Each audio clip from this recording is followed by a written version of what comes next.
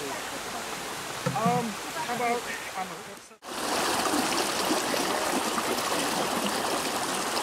I think I'd be interested in becoming like an ecologist or doing something with marine biology. I always love being outdoors and I love learning new things, so it's been a great experience with lots of hands-on opportunities. It's pretty fast water.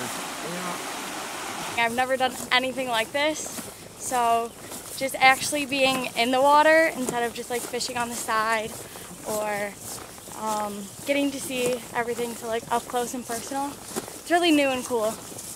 waiting is actually really really hard. It seems like you're just walking, but trying to walk in like waist deep water with so many random rocks in the, in the area, it's actually harder than you think.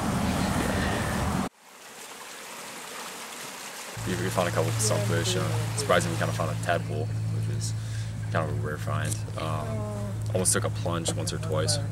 Went down in mud up to uh, up like mid belly. So The big predators are not going to come into a little stream like this because all the herons are going to pick them off. Right.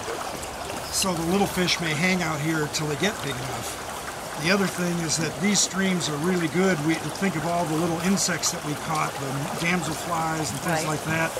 These streams are really good for those, and that is Big Macs for all those little bitty Right. fish. They'll grow fat and happy very quickly.